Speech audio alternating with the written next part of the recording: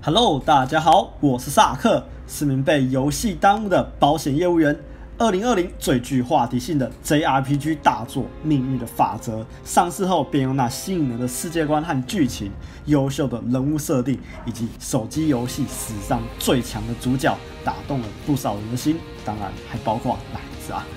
游戏内的剧情文本非常的好看，不单单只是主线剧情的推进，让人想一探主角回到过去后究竟经历了哪些事情，以及对未来的影响外，游戏中各具鲜明的人物性格更是可圈可点，就连一名小 NPC 的支线任务都能让人看到会心一笑，又或是发人省思，绝对是值得大家一玩再玩，逐渐挖掘的一款超棒游戏。由于萨克平时业务繁忙，再加上玩的游戏非常的多，手机有时除了办公之外，还要挂其他的游戏，玩游戏真的越来越耗电了，摧残我的电池。所以能多开的模拟器对我来说真是福音。上次朋友推荐的新版夜神模拟器也很贴心的将《命运的法则》这款游戏的内建键位设定好了，省去了我很多设定的时间。当然，如果想体会手势战斗的话，还是用手机游玩会比较有感觉哦。相较于其他的游戏，这款游戏非常强调主角，几乎所有的角色都能够变成主角的工具人。而这次新推出的卡池中，有着这款游戏里最强的角色明，被动技能给的伤害提高真的太 OP 了，要爆发有爆发，要控场有控场的全能型奶子。造型又阿斯，还不抽爆吗？各位，建议各位把所有的抽券全部投入在这次的池内。如果不小心晒到潘朵拉 Z 的话，还能够打这次的活动哦。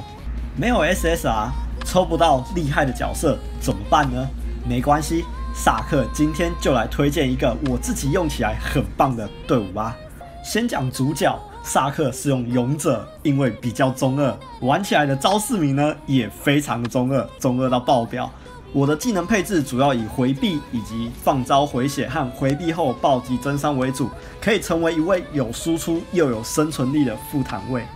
再来建议各位手抽一定要拼牛顿这位业务经理，他的控场能力真的是太好用了，冻结、禁锢、晕眩，想要逃离他的推销真的很困难，还可以帮忙其他人拒怪。